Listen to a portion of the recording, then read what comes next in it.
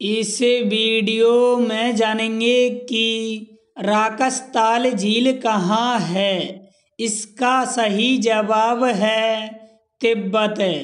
राकसताल या राक्षस ताल झील तिब्बत में स्थित है।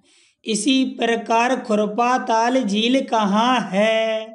सही जवाब जानने के लिए वीडियो के डिस्क्रिप्शन में दी हुई लिंक पर क्लिक करें।